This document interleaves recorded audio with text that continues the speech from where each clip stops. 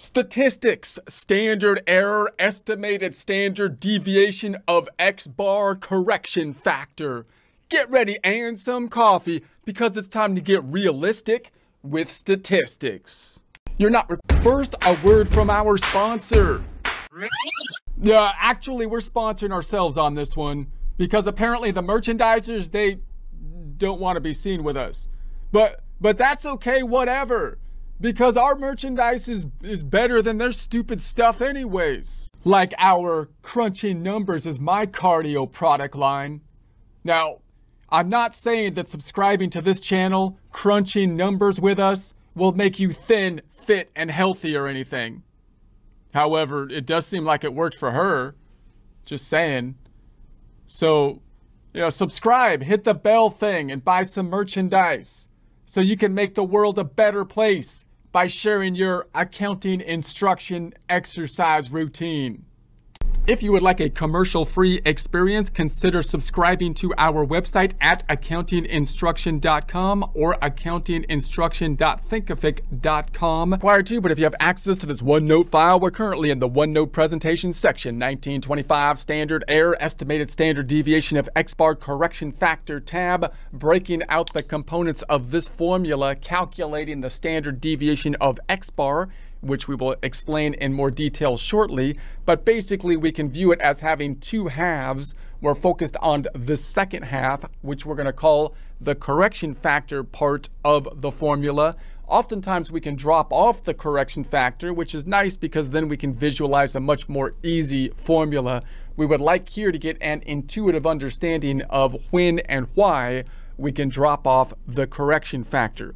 So let's first get an idea of what we did in a prior presentation to get this formula into context, and then we'll focus on it specifically. So for that, I'm going to jump back to a prior tab and looking at a statistical situation where we have a typical situation of we have some population of data. It's fairly large. We can't test every item within that population to look at the characteristics of it. Therefore, we're going to take a sample of the population, test the sample, hoping that we can apply the results we found from the sample to the larger population. Now, typically there's two ways that we can do this, one being hypothesis testing, the second being confidence intervals. Hypothesis testing typically lending itself to situations where we know what that middle point is. So something like we'd have a bag of peanuts and we're trying to see how many peanuts are in it and we already know what the average is supposed to be for example and then we test a bunch of bag of peanuts to see if the results we get are further enough away from our hypothesis for us to reject the original hypothesis and therefore you can think of in essence our bell curve that we would make around the hypothesis and then our test is going to be somewhere to the left or the right of it and we want to see if it gives us enough evidence to reject the original hypothesis. In a confidence interval situation, that lends itself to problems where we don't know what the middle point is, and we're going to basically take the sample and hope that that tends towards the middle point. Now, you can kind of imagine this as a hypothesis test still, because you can basically say, well, I'm just going to hypothesize even though I don't know everything around what I found in the sample. For example, if this is what I found in the sample, I can ask, what if this was the actual mean of the population and build my bell curve around it, where the peak of the bell curve would be here, the tail would be over here, asking the question that if that was the, the middle point, would my sample be further enough away to reject it?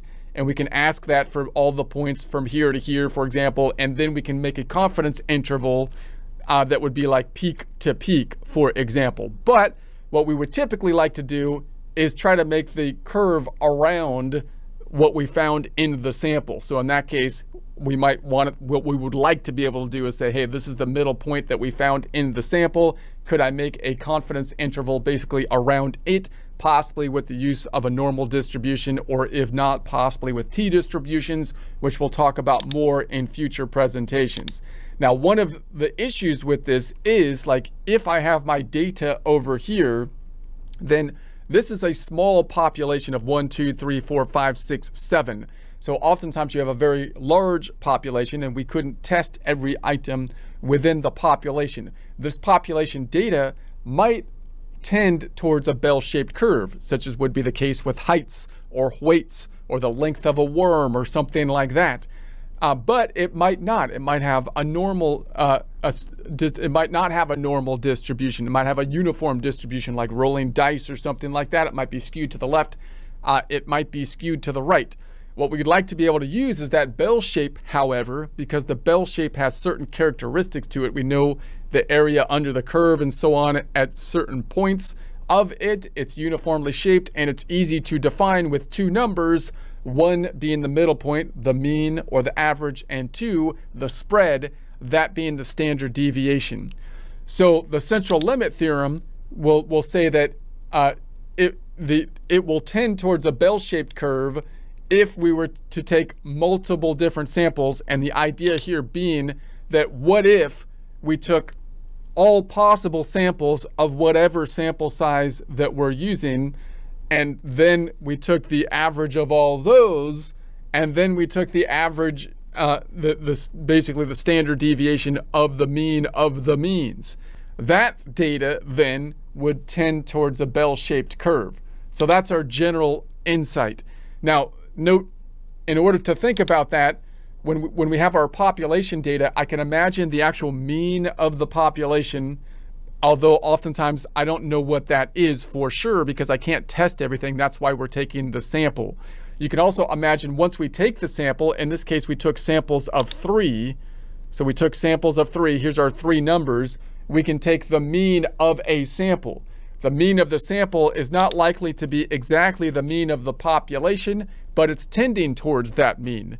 And then we can imagine what if we took all possible samples, in this case we had sample size of just three, what if we took every combination of sample size three, in this case of a very small population of only seven, which allows us to basically do that, and we took the mean of each of those three samples, so this is the three added up divided by three, and we took the average of all of those. So this then is the data that we're looking at, and if I take the mean of the means, then if I had all possible samples, then that would come out to the exact same mean number of the actual population. So that's kind of what we proved last time. So the mean, however, is somewhat intuitive. It's the standard deviation that becomes a problem. And we have the same thing. We've got the standard deviation of the population, which sometimes we might know or sometimes we don't know in the problem.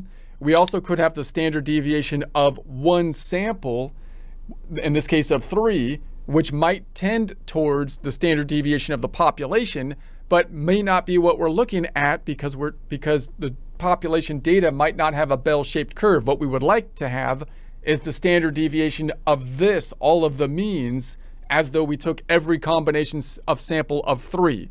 So we actually did that last time with this very small population and sample sizes to, to prove what that is. That's what we're looking for. And we're then going to approximate that in future problems when we can't take every combination of samples with this formula. So what they've done is they've they've looked at this, they've looked at the, the relationships and they've been able to make a formula which is basically the standard deviation of the population, which is these numbers up here, the seven full population divided by the square root of the sample, which in our case was three, that was the sample size. And then, so then the question is they had to tack on this correction factor. And the question then is when does the correction factor have to come into play? Now, there's a couple things to, to kind of keep in mind that some are kind of intuitive or possibly uh, counterintuitive sometimes. Obviously, if we have a larger sample size, the idea would be that you would think that would be good, right? And it usually is good to have a, a larger sample size is typically better than a smaller sample size, but it's not exactly a one-to-one relationship as to if the sample size gets larger, uh, up to a certain point, it might not be adding a whole lot of more information about our confidence level that we're getting from the sample. And the analogy to that is something like a soup. Like, so if you have a pot of soup and you have one can of soup and you want to see how salty it is, you stir up the soup, you take a little teaspoon of soup and you taste it, and that's enough to tell you how salty the soup is. And if you had a whole gallon of soup that you're going to feed an entire room, uh, a, a huge auditory room or whatever of people, then again, you would take that entire cauldron, mix it up, and taste one teaspoon and you wouldn't you have to taste like a gallon of soup right you could take the teaspoon and still see how salty it is and that's similar idea with our sample sizes. So that's one thing to keep in mind. It's not like we can just keep increasing the sample and the confidence is going to be more confident in a one-to-one relationship with basically uh, the sample size. The other thing to keep in mind is well if the actual numbers here are not in a bell shape we have to have the sample that's going to be large enough so that the central limit theorem will take effect so that if I was to imagine the mean of all of possible combinations of samples, that that will tend towards a bell-shaped curve. So again, here, a larger sample would be better, uh, but once we get to a certain point, then then the data is going to tend towards a bell-shaped curve. It's usually like, you know, 30 to 50, like under 100, basically. It's going to tend towards like a bell-shaped curve. And then the third thing we want to think about is, so those are two intuitive things in that the sample size being larger is better, but but it's not what we would kind of imagine that it would be better on a one-to-one -one kind of relationship as we increase sample size, both in terms of the central limit theorem and in terms of uh, more like confidence as, the, as we increase sample size. The third thing is, well, what about this second bit of the, of the, of the formula, which we're going to call the correction factor? Now, as uh, the, the population here becomes important, big N, as big N gets large, which it often is, in this case we only have seven items, but oftentimes the population is very large. And that means that little n compared to the population is going to be fairly small. So in most scenarios, that is the case, and that's when you can drop the second bit out. So that seems a little counterintuitive because you might think, well, if little n, the sample was larger, that would be good.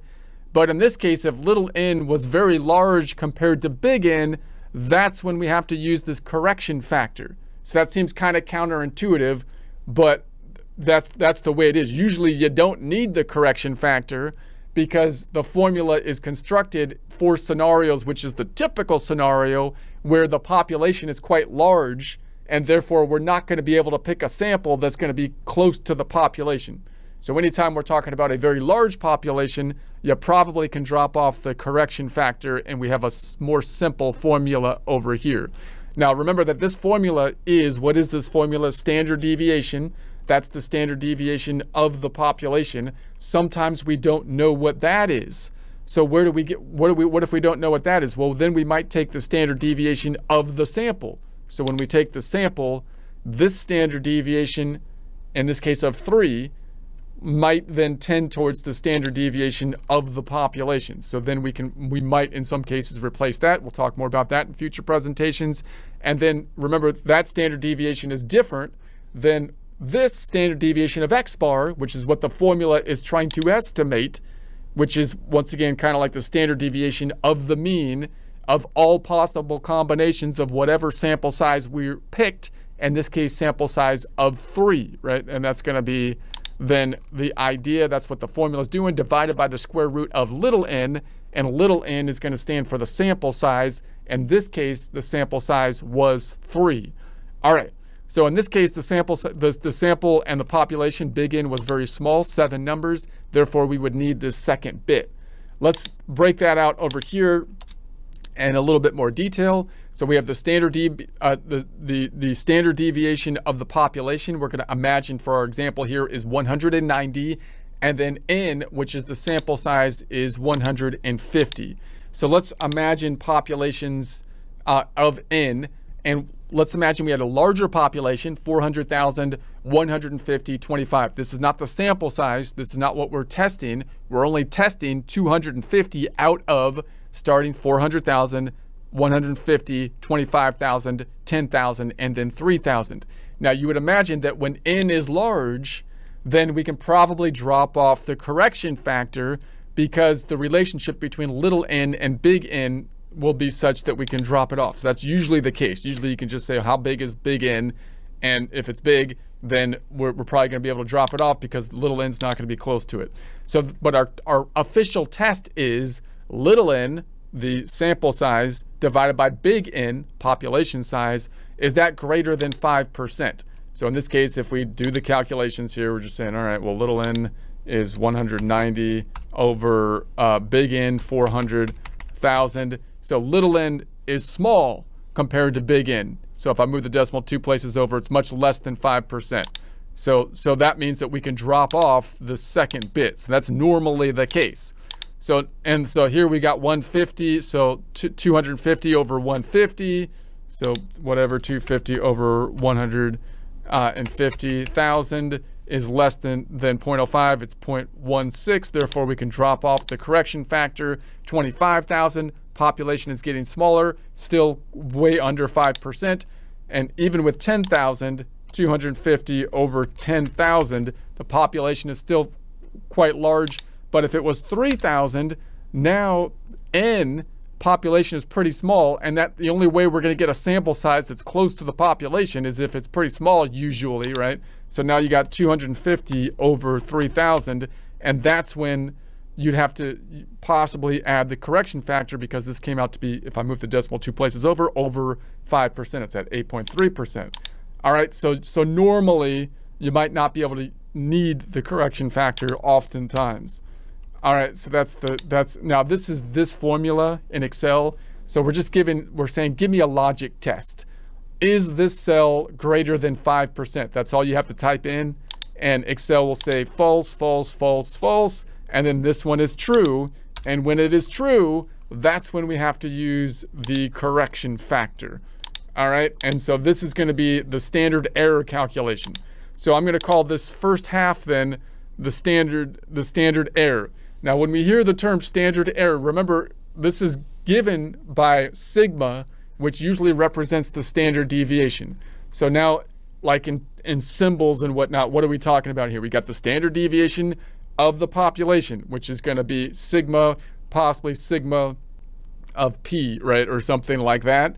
Uh, and that could be known or it might not be known. If it's not known, then we're going to have the standard deviation of one sample, the sample that we took, which you could have a sigma with an S, a sub S, or possibly just an S representing that, which should tend towards the, the standard deviation of the population. And then you got the sigma of x bar, which is what this formula is trying to represent. And that is our imaginary scenario we looked at before, where we're trying to use the central limit theorem, asking the question, well, what if, in this case, I took every possible sample of, in this case, sample size 250 out of the population of, in this case, 3,000, 10,000, 25,000, and so on. That's what this formula is getting at. Then we took the average of all the averages, and then we took the standard deviation of all of that. Obviously, we can't actually do that normally, but that's what this formula is kind of estimating. So those three standard deviations, we want to keep in mind the differences. We're going to call this one then, this kind of standard deviation from the formula, right, is going to be called the standard error. So notice that it comes out to 12.02, which is just going to be the the sigma over the square root of n.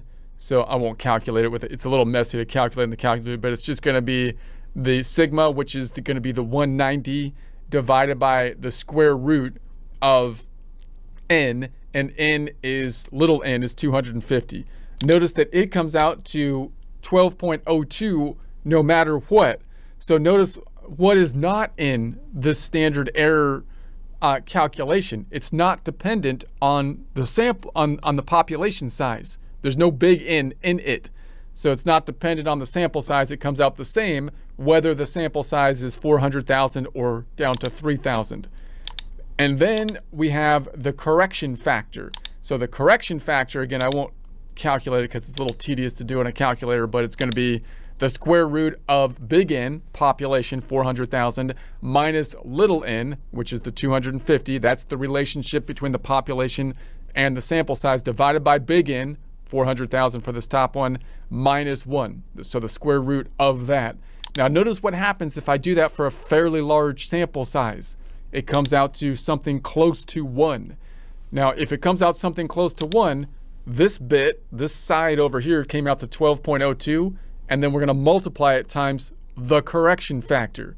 If the correction factor is 1, then whatever this comes out to will just be the same number. So this came out to 12.02.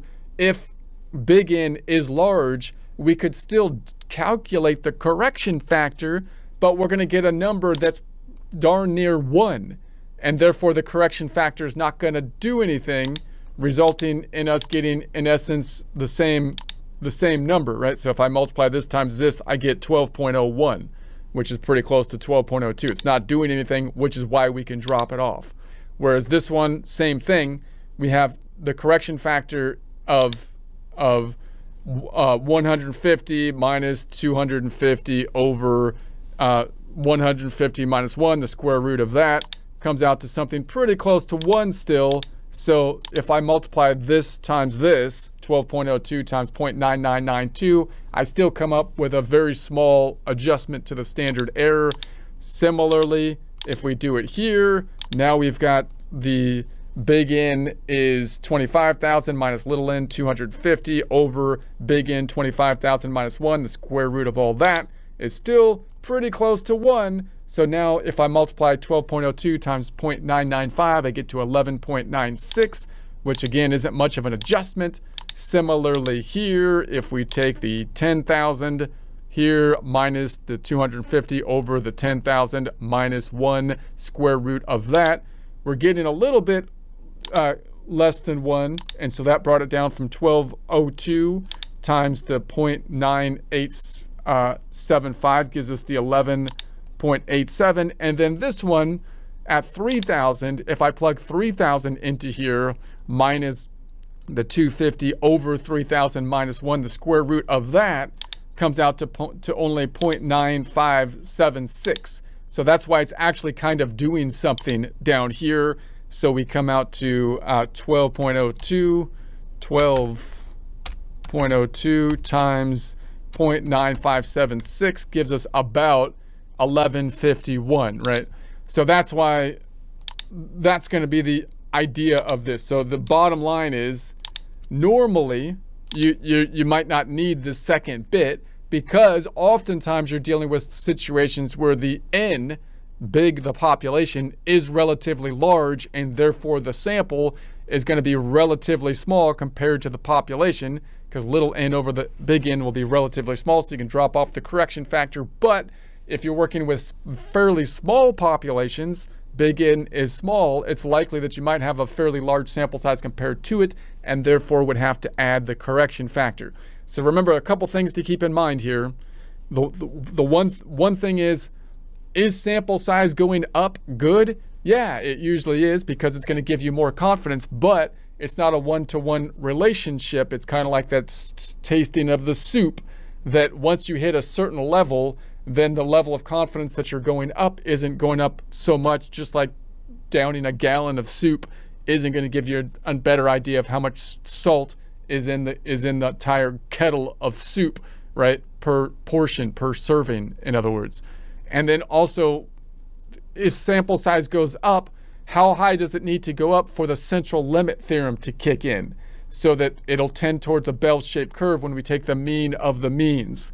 And again, bigger samples would be better, but once you get past a certain point, then it's it's already then you should be good that because the central limit theorem should have kicked in and you should be in a bell-shaped curve and then how big, this one's seeming a little counterintuitive because it's kind of going the other way.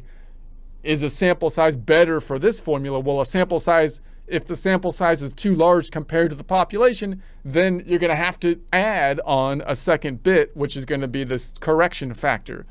But so that seems a little counterintuitive, right? Because you would think, but the normal case is that big N would be large and therefore you wouldn't need the correction factor uh, but when the population is smaller, then you might need it. And also just remember the differences between the standard deviations. So we're talking standard deviation of the population, in this case 400,000, 150, 225,000. but that might not be what we're looking for if we're trying to use the central limit theorem because this might not be data that has a bell-shaped curve. We could take the standard deviation of the sample, in this case a sample of 250, which should tend towards the standard deviation of the population, but again might not be what we're looking for because the population data might not be bell-shaped.